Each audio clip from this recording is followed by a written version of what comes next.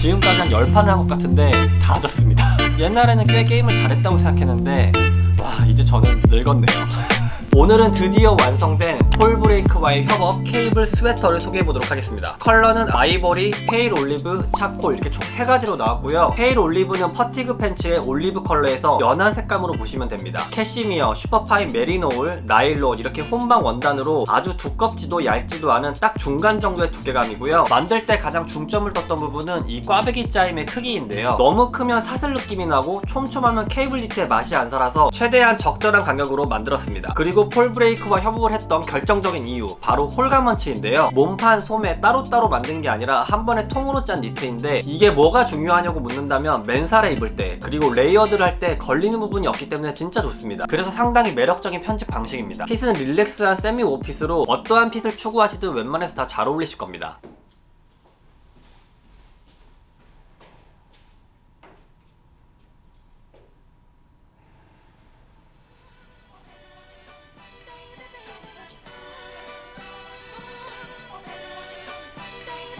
밑단 시보리 텐션이 어느 정도 있는데 취향에 따라서 이렇게 접어서 입어도 괜찮을 것 같고요. 여기 넥라인, 소매, 총장에 스타사를 넣어서 늘어남도 방지했습니다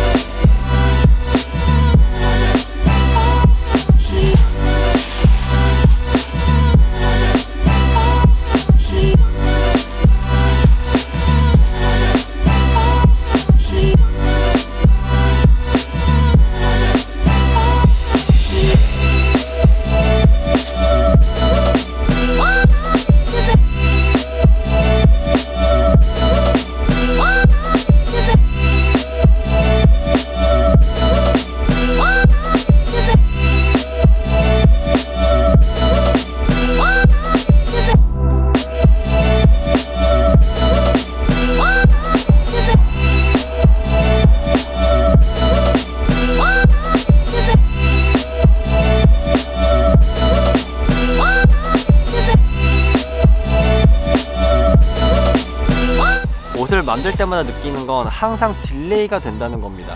11월 말을 예상했으나 이번에도 12월이 넘어가는데 그래도 이쁘게 열심히 만들었으니까 아무쪼록 마음에 드시길 바라고요. 니트는 사실 활용도가 아주 높아서 지금 구입을 하셔도 저는 괜찮을 것 같습니다. 그럼 다들 감사드리고요. 좋은 밤 되세요